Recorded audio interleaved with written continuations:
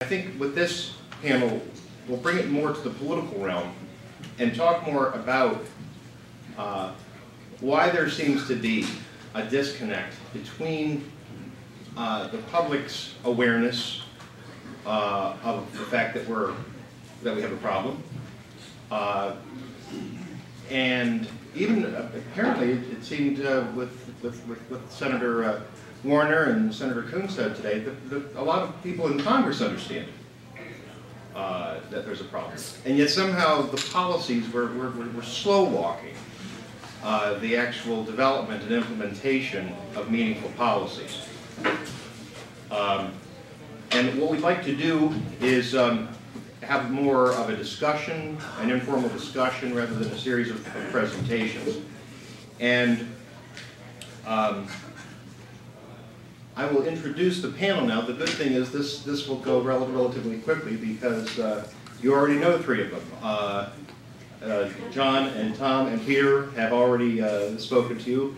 Um, so I will introduce uh, Rana uh, Foroohar. She is the assistant managing editor of uh, Time magazine.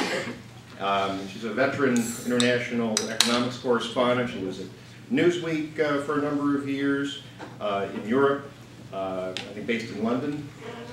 And uh, while she was there, she was uh, awarded the uh, German Marshall Fund's uh, Peter Weitz Prize for transatlantic reporting.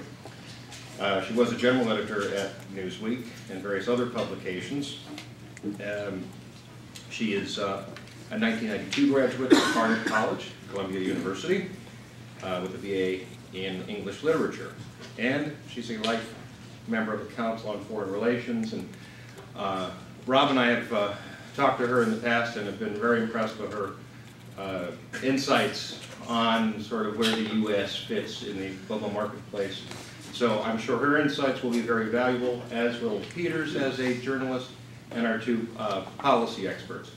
Um, so don't we get started? Let me just, you know, offer sort of a, a general observation about what we've seen so far today or heard so far. Um, I was really struck by John Zogby's uh, the, the responses to the polling questions because it's clear that the public understands that, that, that we're slipping, that we need to be more innovative, that we need to step up our adoption of technology and our education. And, but what also struck me, there was a certain maybe complacency because the polling question about China, there was this overwhelming uh, sort of understanding or acceptance uh, that China is going to eclipse us. And I'm wondering if that is an indicator that maybe uh, we're not paranoid enough. Um, I think, uh, you know, paraphrasing uh, Andy Grove, that, you know, to be successful, you have to be a little paranoid. And in the past, I, we were good at, par at being at paranoid. paranoid. Uh, the Sputnik, uh, you know, Japan Inc. in the late 1980s. We responded uh, rather dramatically. Uh, we made investments um, across education and uh, R&D, and we, we, we, made those investments, and it paid off. Now, I, it seems there is, on one hand, an awareness that we are also, that we are once again being challenged, and yet frozen. We're paralyzed in being able to do something about it. So why don't I just use that observation to maybe kick off the discussion and um, I would invite uh, any of our panelists to, to comment on this, whether we have maybe, we're not scared enough. We're not as concerned as we should be. Um, I'd be happy to jump in on that. Um, I have a couple of thoughts. Um, I've spent actually a lot of time in China in the last four or five years um, because it's such an important part of the economic story. And, I, I, you know, I mean, I also lived through, I had a father who was an immigrant and started a small manufacturing business in the Midwest and lived through sort of the fear that Japan was going to take over the world. He actually made me start taking Japanese lessons when I was 12 um, because he was so worried about this.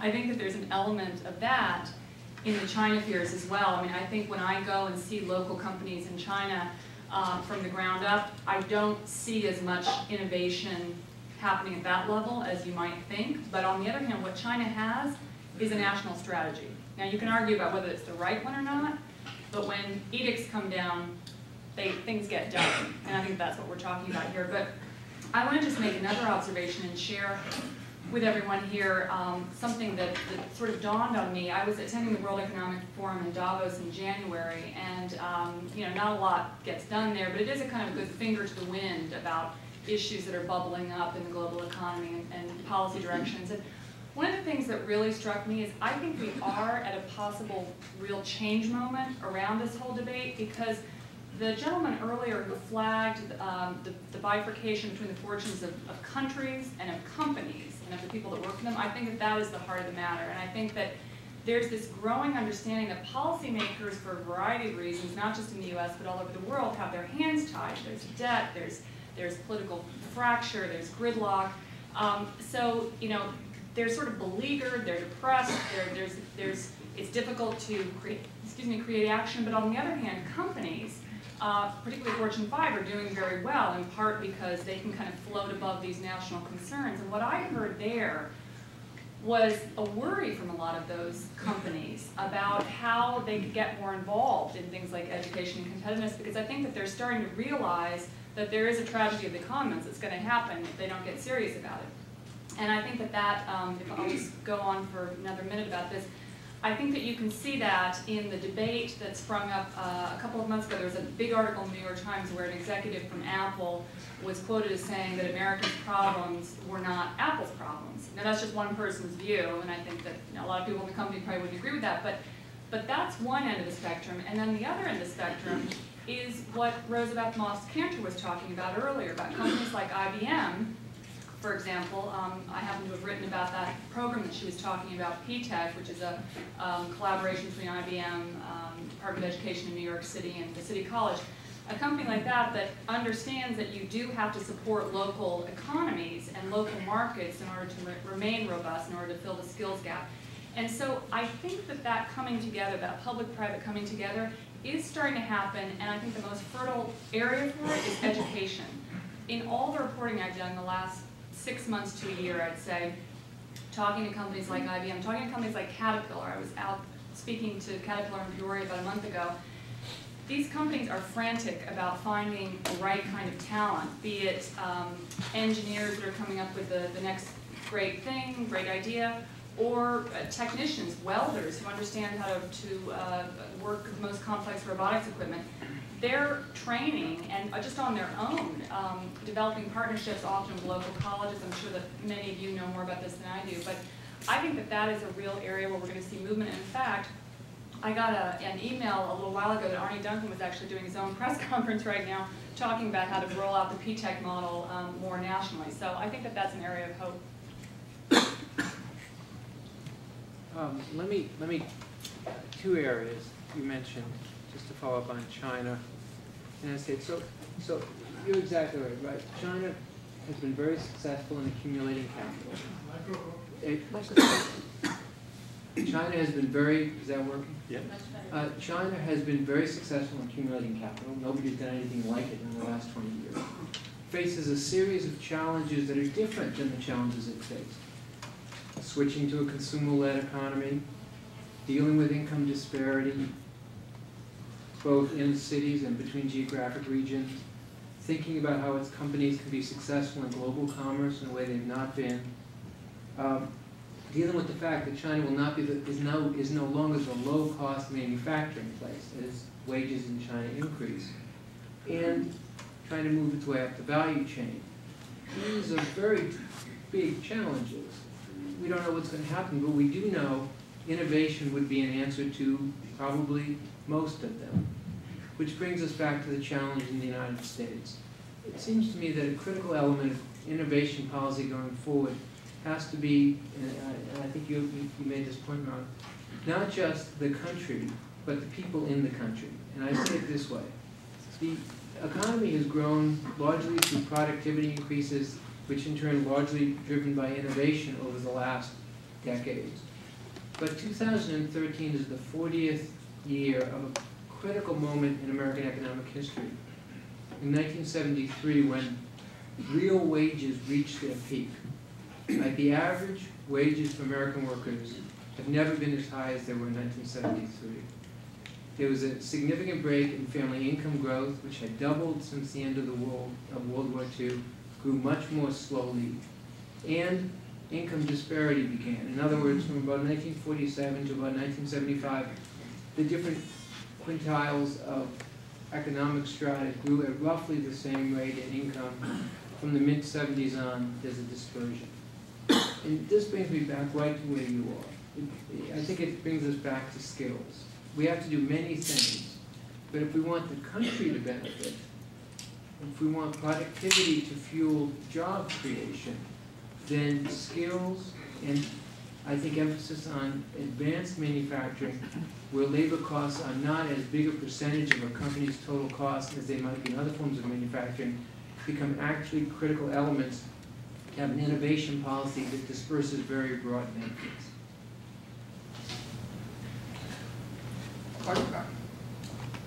I, I actually, I mean, I think, I think, uh, just to be very brief about it, I, I think, Steve, I think the predicate of the question was a little, a little overstated. Um, uh, You know, are we not, I mean, you know, one of the answers, I think one of the answers to one of those poll questions was that seventy-five percent of people, if I remember correctly, thought, you know, China would be leading in, uh, in technology or IT in five years.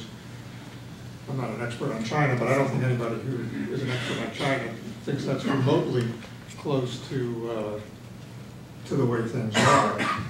Um, And, you know, before, you know, obviously, we, need- I think we need to take into account the effect of all our policies on innovation, but we also need to, to also, you know, not, not, um, you know, if you look, look at uh, Chuck Hulten's statistics that were, that were um, presented before, and I, you know, I think there's no reason not to believe them. I think, you know, we're not doing so badly. Now, that doesn't mean we're always going to continue doing well. And maybe in the last couple of years, you know, that we're, we're, we don't, don't have data, maybe, maybe they're not going to show the same, the same thing. But we, you know, I, I don't think we, I, gotta remember, we are in the middle of a very bad economic patch generally. And, uh, you know, there's lots of, lots of proposals about how to get out, out of it, uh, and not that much consensus, but I don't know that I would, you know, overreact and call it a, you know, that's largely an innovation problem. Uh, let's see. I um, think that we here in this room all like innovation, we probably wouldn't be here if we didn't. But we speak about it as if, well, innovation, everybody knows what that is, everybody knows why that's a good thing. And yet, I think one of the reasons that it's so hard to, for people to, like ITIF, to advance their agenda is that if you dig down, you discover that not everybody has the same idea in mind when they hear the word innovation and also what you would want to do to generate it.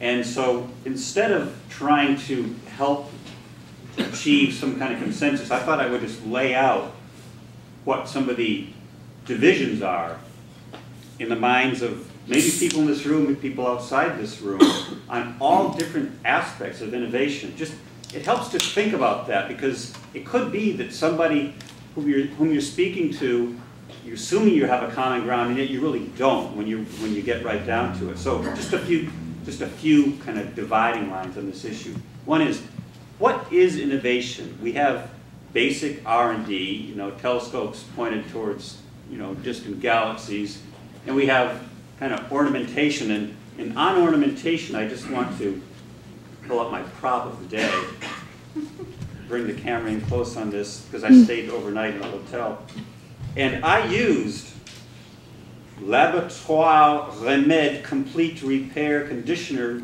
shine enhancing, volumizing hair clarifier with sweet lupine complex, panthenol, citrus extracts, and mint oil. And you can probably tell all the way from there what it did to my hair. It worked, it looks nice. I was gonna say, So, so. I'm a beneficiary of innovation. But, so we have this, we have, what is innovation after all? Is it, is it this, what I have in my breast pocket here and I'm gonna keep with me for a while now? Or is it, is it the basic R and D or, or somewhere in between? If so, where in between? Another issue with innovation, there are people who would say that uh, innovation is all about product differentiation, market segmentation, in order to uh, reduce the price elasticity of demand and give market power. That's, you, you want to show that your product is just enough different that you're not competing with the product next to it on the store shelf. And this goes back to books like The Hidden Persuaders of Vance Packard in the 1950s. And so people would say, innovation, all we need is one, you know, brand of flour. So it's crazy, but you can see why innovation is not an unalloyed good in the minds of many. Um, another issue, uh, we talked about this a little bit, intellectual property protection. Uh, some people would say it's a good thing. We had uh, speaker from, what's the name of the organization? Uh, computer communication. Right. Talking about sometimes there can be too much intellectual property protection and the thicket of patents in, in the computer and software field has actually made innovations difficult and caused all these unproductive acquisitions which are seriously for the purpose of, of adding to a war chest of patents so that you can cross-license and, and avoid uh, litigation that's going to knock your product out of the market. Uh, so, if, so, and yet you don't want no protection.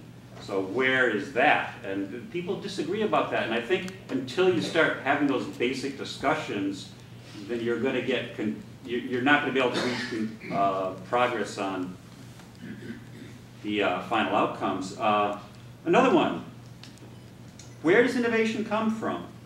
Uh, We've, we've heard talk about, you know, the Instagrams of the world just bought by Facebook for a billion dollars. Uh, Created, you know, classic a couple guys, just put this thing together and suddenly it's worth a billion dollars. Uh, And, you know, is that the model for, for innovation? Or is, or do you go back to the theory that innovation, the real innovation, the serious stuff, has to come from kind of large companies with market power that can produce the profits that will um, allow them to staff up the R and D labs so that, you know, the new book out about Bell Labs, for example, uh, and that, and that not, after AT&T lost its monopoly, Bell Labs kind of withered away and, and that, and a critical loss of American competitiveness with it. And then just one last point, uh, Rob Atkinson and the ITIF are very strong on the idea of connecting innovation to production. And I just wrote something in the magazine about uh, the, the importance of manufacturing. And Gene Sperling, the National Economic Council chief, uh, had a speech about that last month in Washington.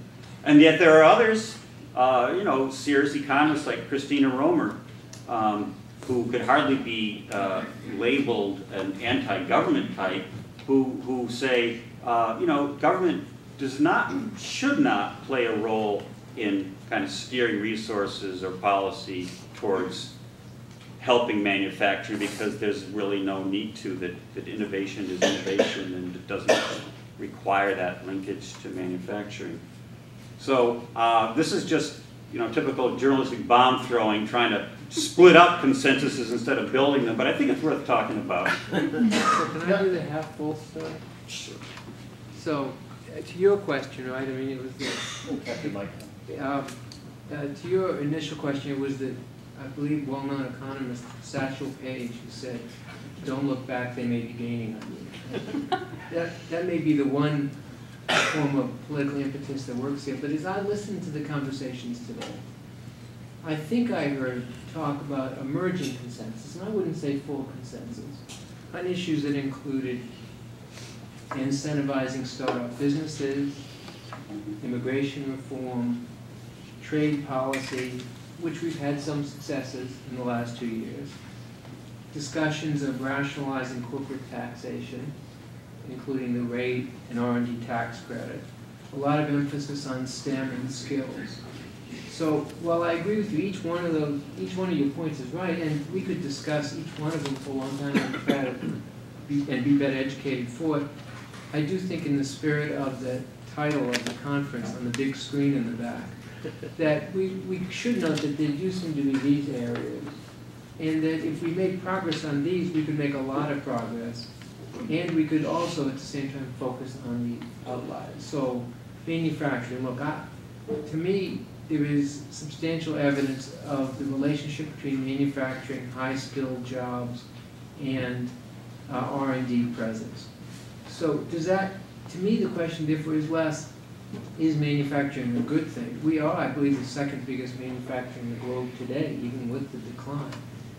But it's more, how do we deal with manufacturing? And I think, maybe I'll come back to this later, but to the extent we are building on regional economic strengths, I'm a big believer in the sort of regional innovation clusters. To the extent we're building on regional economic strengths that really exist, that aren't artificial, but that need support to build up sort of an ecosystem of success, and that those can include advanced manufacturing. The way Youngstown made a transition from manufacturing tires to advanced polymers. That, I think, is a good and smart policy.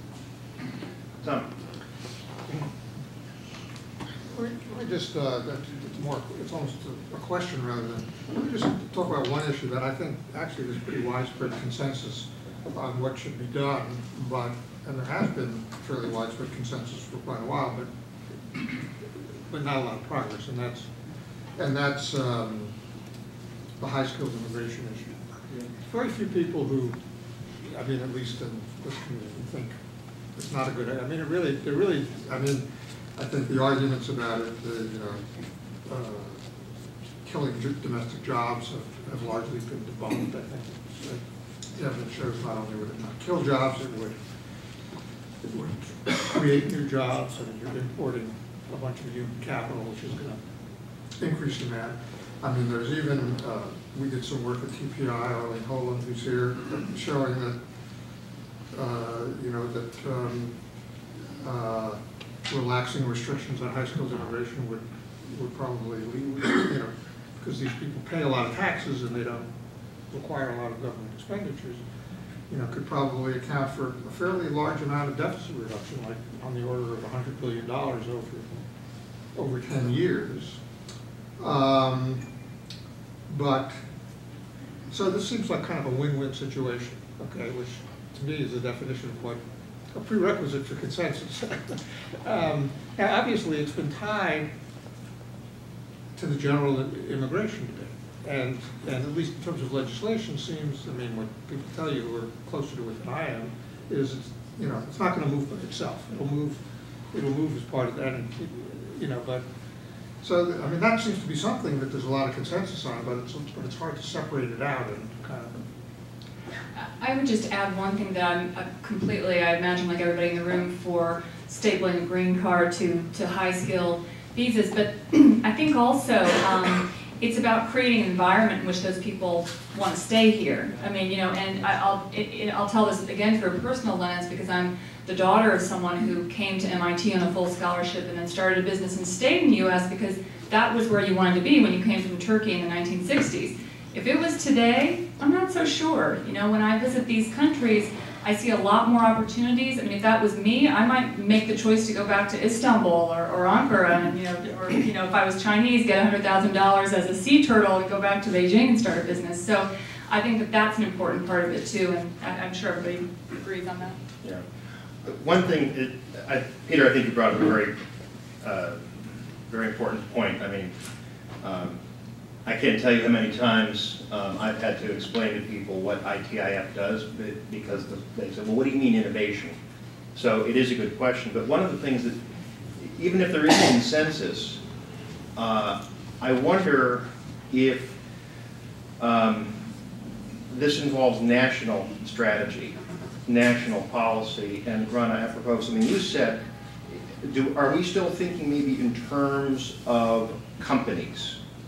Um, states. I was thinking what Senator Warner said before about the state. And- And do we think maybe too regionally, too locally, uh, too much in terms of companies? And are we skeptical um, about the way we can form and implement policy at a national level? Do we just no longer think we can do it in Washington? Well, I'll just comment quickly because I do have a, a thought on this. Um, I think that we need some rebranding of, of words and vocabulary around this issue. I mean, Peter kind of touched on some of the fact that even the idea of innovation, it- it's, a- it's a kind of a nebulous concept. What does it mean? Um, what are we talking about? I think when we talk about national competitiveness, and I'm gonna use a third rail word here, industrial policy, you know, eek, um, I think I'm gonna lose half the audience right away maybe, but, um, I think that these words, be it laissez-faire or industrial policy, they, they bring up emotions and they immediately kind of bifurcate people, and I think that we need to rethink about what does that really mean? Is industrial policy, is it about picking winners? Not necessarily. Is it about incredibly um, better metrics and, and tracking uh, patents and where IP is coming from and who owns it and connecting those people in a smarter way? Maybe. So perhaps that's a discussion to be had. Tom, um, and I will say, we'd like to bring in the audience. Uh, You're all very informed people, even more informed than when you walked in here at 8:45 today. So, uh, you know, think about some questions, we'll be sure to recognize you as soon as possible. Tom? We'll talk about that. I think we should mention other, I mean, there's lots of things that have an impact on innovation actually, even though a lot of things were talked about during the course of the day, um, and particularly kind of, you know, for example, and things that I think people don't normally think of as innovation policies, but I actually think should be thought of that way. Um, particularly in the IT world that I uh, kind of study. And, and, and one, and a prime example that I think really should be considered uh, innovation policy is privacy policy. Um, and it also, you know, impacts our kind of our international competitiveness. There's a, there's a, you know, virtually all innovation on the internet makes use of personal information in one way or the other. Either to develop the product, improve it, search engine is a prime example, or to, uh, through advertising, to generate the funding for it. Okay. Since privacy policy, broadly speaking, is restrict, essentially restricts either the ability to collect or use information, it is going to have an impact, and potentially quite a big impact, on the, um, on the, uh, either the magnitude, the magnitude or the, or the direction of, of innovation on the internet. And you can kind of, and, and it also, I mean, you you look, you know, broadly speaking, there's two approaches to privacy. There's kind of the European approach, which is more regulatory and more restrictive. And the, there's the US approach, which is, is more light-handed. I mean, there is a reason, there's, there's more than one reason, but one of the reasons, I think, that, you know, all of these, all of the, all of the great IT companies have developed here, rather than in Europe, is, you know, and that's at the core of innovation. I've, I've Obviously, innovation a lot broader, but I think these things should be thought of as, as innovation issues. With that, why don't we uh, open up the discussion to the audience? So if you uh, have a question, identify yourself, and we'll bring you into the conversation. Yes. Thank you. Byron Stripe with the National Academies. Where does one begin? Um, Innovation takes place in a very complex, dynamic social environment. And many researchers have pointed out it's not just the inventions, it's not just uh, seeing what could be done with it, that we typically think of with innovation, but it's the whole environment in which it takes place. The availability of venture capital, of bankruptcy laws uh, that are more lenient here in Europe, uh, the uh, business processes that Chuck Hulten has pointed out to that uh, actually form creative units. You mentioned the Bell Labs book. That's a beautiful example. Uh, It's a very complex system. You want to advance an agenda, uh, where do you begin? So, uh, one has to begin hundreds of places. So uh, Phil Weiser and I from the University of Colorado Law School, now the dean, and I put out a little paper last fall, which we said, look, everybody understands certain things have to be done right. The economy has to work, there has to be functioning capital markets, there has to be rule of law, there needs to be education. But what are other things? And, and let me just note three, some of which have been talked about. Uh, it, it, the point about immigration, everybody agrees with it, it's gotta get done. It's crazy to have people say, we wanna help make America strong, and we say, thank you, no. It's just crazy, right? Secondly, focus on basic R and D. We just know, I mean, your Bell Labs example, the- book that's now just out, people who talk about Xerox PARC, right? It's not getting done in the way it used to get done in America. Maybe that's because American companies are more competitive in some ways. But basic R and D has got to get done. We don't know where it's gonna lead, and that's actually a good thing. It depoliticizes the funding. The third piece, and I mentioned before, is I think we need to understand that the US economy is made up of a series of regional economies that have different strengths. And that, in Silicon Valley is of course the best example, but lots of works in places like Denver, San Diego, Research Triangle, Boston, and biotech. I mentioned Toledo before, uh, Pittsburgh around innovation. I think federal policy ought to reorient itself to supporting these ecosystems because they contain the elements to which you address. In other words, there are businesses, there's the potential for positive spillover, there's connections with big universities, eh, there's connections to community colleges. It's already in place, but it isn't fully maximized. And so the federal government, not trying to do top-down management, but trying to support bottom-up processes that are in place but can expand into better markets or adjacent markets, strikes me as a very highly leveraged way to use very scarce federal dollars. And by the way, we'll come to it, it would allow the federal government to reorganize itself in a way that would be more efficient and I think more productive. So that's not a full answer because your question is correctly all encompassing. But if we did those kinds of things, I, I think we would find we had a more effective federal presence. Good insights. Does, does anybody want to comment, or do we want to move to another question? Okay, go ahead. I'd just like to take two quick comments. One is my father was a pioneer uh, at Bell Labs with 90 patents, and had the original patent on the push-button telephone in 1935, and I didn't get mine until 65. And I asked him why not. He said, well, we had warehouses full of functioning black dial phones. Why would we want to throw them out? Mm-hmm. So you have that. But Bell Labs was made a monopoly by Congress. I then went on to work for IBM and worked with IBM Research. And what was interesting at IBM was it struggled that it had big machines, middle machines, and small machines. And they were all competing in the marketplace where you had people with big machines that wanted to move down to middle machines, but they didn't have a common software. I mean, there are all of these kinds of things that come into play. And it's, it's all about jobs. I mean, I, the, the head of manufacturing at IBM, when I went up and suggested we ought to do some activity-based costing, he said, Let's see, why would we want to think about that?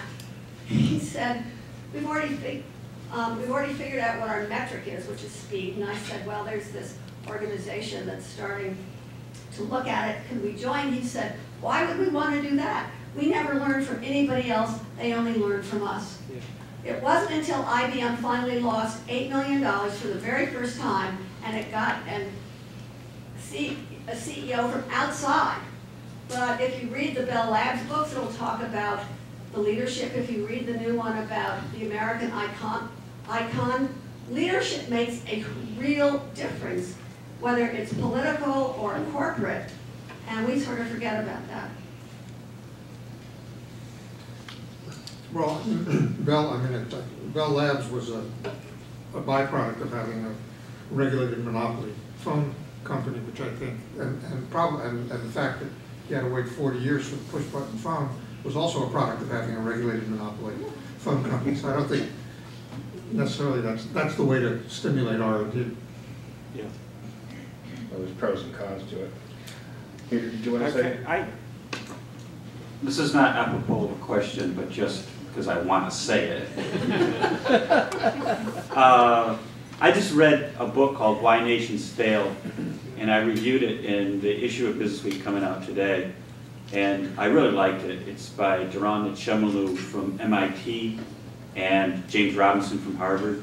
Uh, he's a political scientist. Robinson's a political scientist, and Acemoglu is a very prominent economist. And the part of it is a sprawling book. The part of it I want to get into is this issue of industrial policy and innovation, uh, because, and then I want to contrast it with another book, which I'm really in the middle of reading now by a woman named Ann Lee from New York University, uh, called What uh, the U.S. Can Learn from China. And these books are completely disagree with each other, so it's kind of interesting that way. Uh, Acemoglu's point of view is that China is an extractive economy um, in which the leadership continues to try to maintain control of the people. It's obviously not as a tota- it's not a totalitarian country the way it was under Mao, but it um, it's going to hit a ceiling on growth because uh, extractive economies, uh, top-down economies, hate creative destruction. And creative destruction is essential for innovation. That's kind of what innovation is, in a way, creative destruction.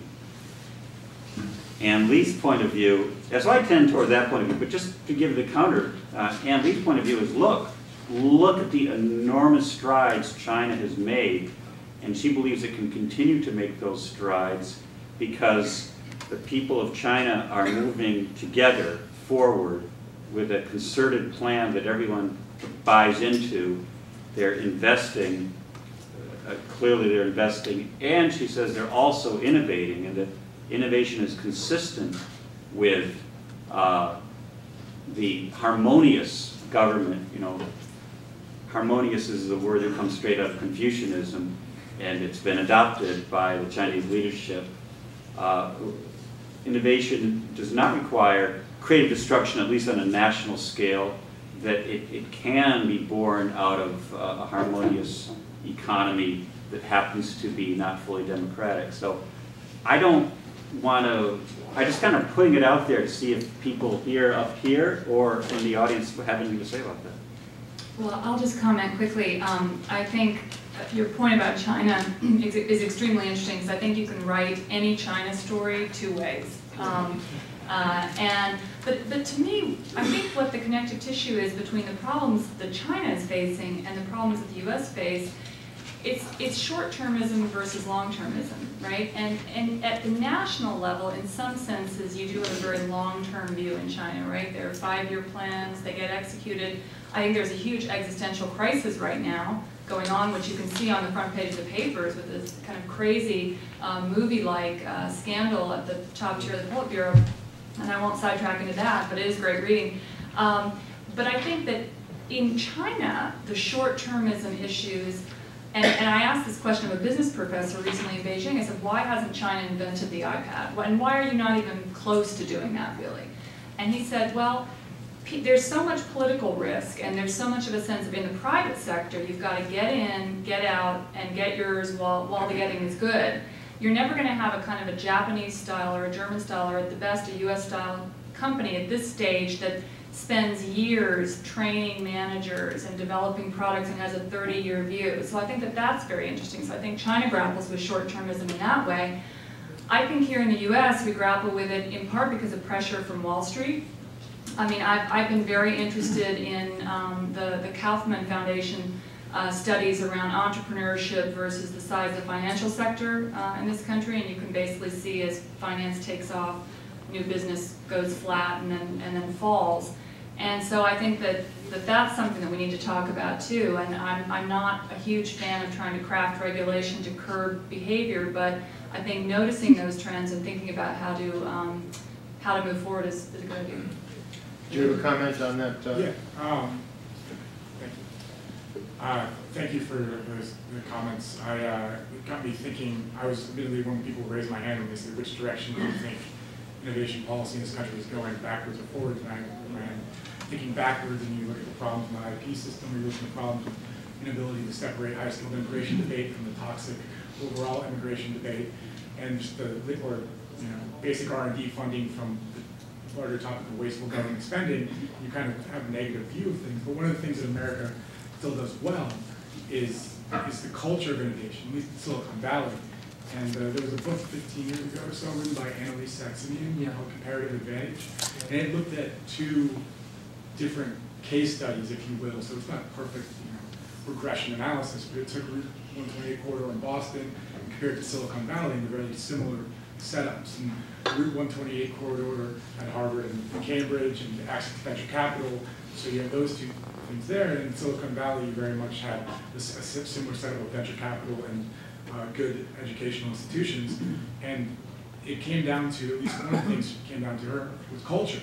And part of this was the inability, or the lack of enforcement, or inability to enforce uh, non-compete clauses in California compared to Boston. And it, and she kind of took that into this, this position on kind of the chaotic trading and cross-pollination of ideas that happen in Silicon Valley, where the Boston model is more stovepipes. And I was wondering if you guys could comment on your thoughts on, on the culture of innovation and how important that is, because it seems like we still, compared to China, for example, we still have, we're still the top country in the world for that, in this kind of disruptive innovation, the willing to take risks, the willing to take chances, the willing to disrupt the status quo. So, I mean, it seems like culture is one of the things that's not talked about, but is very much important. So I want to say a word about political culture, but before I use your question to answer a question that hasn't been asked, does anybody want to talk specifically about the innovation culture that he asked about? Otherwise, I'll, Tom, do you want to do it? Well, look, uh, look, we have the most innovative culture in the world, and, and we're going to still have it, and her work is important, and another aspect of her work that we ought to talk about, and it goes to your personal stories, are the connections that get made between immigrants and the countries from which, uh, the, the countries of origin, which can be very strong connections in a global economy. But I want to go to political culture. So, let's think for a minute, for a minute about the Peloponnesian War. This has been bothering me. I love that. So, here's Love that why. That was related the other question. Socrates, Socrates takes from the Peloponnesian War that democracy can't work. Because it's messy, it's divisive, it's inefficient, and one's adversaries know everything that's going on because it's open. He tells Plato, Plato says, great, philosopher kings, get rid of this democracy stuff. Okay? Powerful philosophical tradition comes from Socrates' belief that Athens doesn't manage the Peloponnesian War very well. I want to talk about our political culture. We are in a moment where, by every measure, all the national elections are very close, right? The president has a lead in a rolling average of polls that's within the margin of error. The Republicans in the House have a generic ballot advantage within the margin of error. Recent takes at the Senate show it could be 51-49 either way, maybe more likely Republican, but could go either way, and of course, could go 50-50, which means whatever way the presidential race could. There's two ways to look at this. We could look this, this as a moment of profound division, or we could say there's a group of people who want jobs and don't know which political party can deliver it the best. They should make their choices. We all have our own uh, candidate in November. But I think it's the people in this room that can shape the political culture, because it's got to get done one person at a time, that says after the decisions get made, we've got to figure out a way to find consensus and find some common ground. And I don't mean this in a Pollyannish way, right? We're not all going to get guitars and start singing Kumbaya. But we can be practical-minded politicians to show the world how leadership can come from democracy for economic advantage. I think that's a central challenge we face, and I think it's a cultural, not just a political question.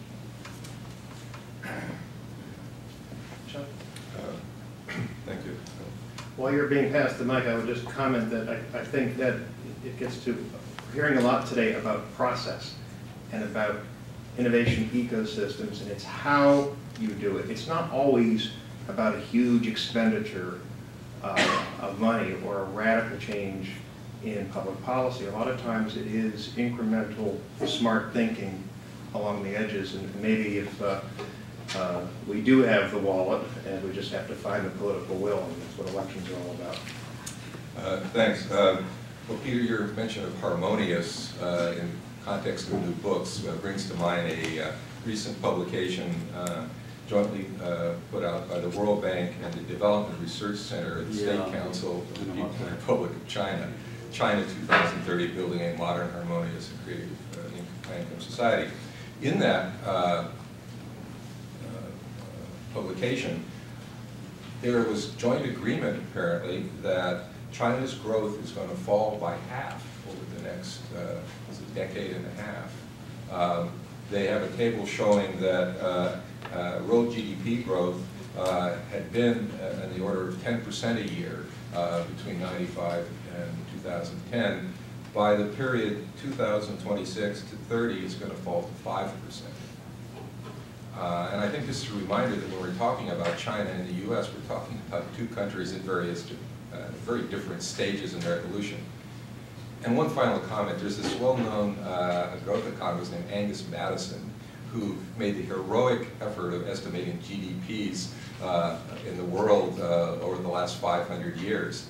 And Maddison's results show that in the 16th century, he points out that the two unambiguous world leaders with 50% of the world GDP were China and India. Yeah. The 1600s. Another question? Yes, sir. I'm sorry. Raise your hand again, please. Yeah, okay. I think what the U.S. needs to do is get rid of provincialism. When uh, Mitt Romney was in, on his way to South Carolina, he called Obama a European president. In South Carolina, jobs are driven by BMW, Daimler-Benz, et cetera, et cetera, et cetera. You've got to get this provincialism out of, out of the dialogue. In other words, you, you have to say that we do, we do have an interdependency between government and business. Because if we don't, and there's been all kinds of studies, there's a study by Cheng Li at Brookings, who, who did a study of the Chinese, we found the Chinese turtles and the Chinese seagulls. Chinese students that come here and stay for a long time, or the Chinese who go back. Four billionaires left Silicon Valley to go back to China and start innovation there. So the innovation really starts in America, but is continuing overseas because we have closed minds here. Go ahead, any of the panel want to comment on that? I mean, I- that goes exactly to, to my point. I think that, you know, um, it's about creating a landscape in which those people want to stay. Um, Because the rise of the rest has happened, is happening. Um, I, I do think, I mean, to your point, the gentleman's point earlier about China's growth falling, I don't know if it's gonna fall to five percent, it is falling. As are most of, as is most growth in the emerging markets. I think that that's actually a big marker that's happening right now, is that that growth story is somewhat over, at least those countries are hitting the sort of middle income barriers, um, that's gonna make growth more challenging, and that does change the landscape, but at the same time, it means that they've risen to a level in which there are just tremendous opportunities in these places, and it really puts the pressure on the US to, to be the, the, the home of choice to innovators. Okay. Did you have a comment, Jeff? No. Uh, let's do, uh, two more questions. Um, okay, yes, sir, in the third row, actually. Um, Yes, behind me. We can switch. Thank you. I'm from uh, Norway, and I have been working about 12 years in European Commission, European Union projects, and I've run some of them. And we've been trying to catch up with America. And billions and billions of euro at European Union level, as well as national level, including in Scandinavia. Our and we launched the big concept, uh, knowledge society and economy and society. Uh, 12 years ago, Europe will be the most vibrant, knowledge-based economy and society. Uh, we revised that. And today, whether in Scandinavia or in Germany or in France, and the same in Japan, being involved in Japan, we realized that we had to come to the United States to learn what, how to build knowledge-based economy and society, and to reinvent ourselves. I agree with BMW and many others, but Europe today is stuck in what is called knowledge society, multicultural society. We can't absorb millions and millions of other cultures. You might know better than I know this. So I still believe that if you mobilize, as my question and statement, knowledge for local communities, the plumbers of knowledge society, there are a lot of jobs to be created to empower local communities, to create jobs, to educate, and to invite foreigners today. I've been traveling, working with Boston Consulting quite a few times here, but the last five years, you are so pessimistic. You get me even the impression that you, you're afraid of yourself. Uh, I'm invited in China to uh, help them organize the first World Congress of Cultural and Creative Industries. 90% of my input is from America. So get down to your local communities, your districts, villages, and don't look otherwise. China is not threatening. They need you. Uh, last comment, the last book by the chief economist of the World Bank. I just spent some time this week with him about new structural economies. Now, when it's about how to do it, he comes to the United States. So I think you should shake up a little bit and to see that it's still it's, it's, it's here. It's not Google and uh, Facebook. It's local community, your brilliant society, multicultural and uh, I benefited myself. So it's still in America. Don't be afraid of China, even for America. Those are encouraging observations. Does anybody want to comment on that, or should go to our next question? Well, how to follow that is uh, pretty amazing, but one of the things that, that I'm struck with, whenever we talk about innovation, one of the things we tend to talk about a lot, well, first of all, the rest of the world, and we talk about innovation the way it used to be. For example, the incredible stories of Bell Labs and, and IBM Watson Labs and things like that. Well, there's lots of people who've written about why you know, the Bell Labs suddenly had to be under quarterly profits, et cetera. But that is not the real reason that we lost some of the uh, identity of Bell Labs. The fact of the matter is, we are in a world where you cannot be number one in everything anymore. The whole principle of the major labs, Watson Labs is a key example, Bell Labs, Xerox PARC, was that you could be number one in everything. And therefore, you could create an environment with physics science and everything that then would be the engine. The fact is, innovation has changed. Nobody can be number one. Nobody has the ability to have all of the R&D curves and not leverage on the R&D of all the other people around them. So when we talk about innovation, Peter, I think you're right. We have to really be careful what it is we're talking about, because innovation is a forward-looking thing, fundamentally. Also, it is a matter of individuals. Initiatives do not create innovation. Programs do not create innovation. Desire doesn't create innovation. Individuals within a context create innovation. And incremental things create innovation that then makes the discovery. So it seems to me that part of the challenge is we need to rethink what it is we're talking about, what the timelines really are. It's no longer true that basic research to market, it takes 10 to 15 years. And the reason is not because we're faster, but it's because we're doing different things. If I develop a new algorithm and discover a new way of doing things, I had to write the software to do it. And guess what? I'm already in applied research. So what are the boundaries? We need to discipline ourselves to think a little cerebrally on this and real, realize that we're innovating in another wave, in another time, for another reason. Let me just say something about the last two comments, because it's very helpful, and we appreciate people coming and sharing ideas with us. One link I might make between the, the, the last two is that um, sometimes we when we talk about regional economies, we lose sight of the notion of comparative advantage. Europe has put a lot of research um, into thinking about what different parts of Europe are good at.